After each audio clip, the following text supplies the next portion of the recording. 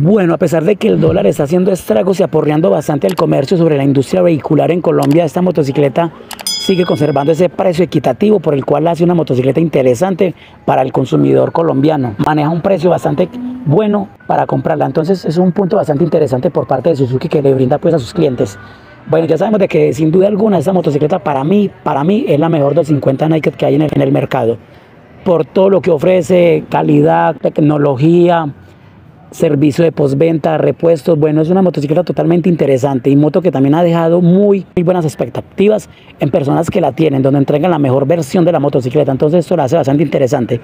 Bueno, ahora hablemos de su precio, 14 millones 290 mil pesos sin documentos. La motocicleta con toda la documentación al día estaría en los 15 millones 100 mil pesos. Bueno, señores, les gustó el video, el video, suscribirse al canal, activar la campana y nos vemos en otro próximo video. Chao.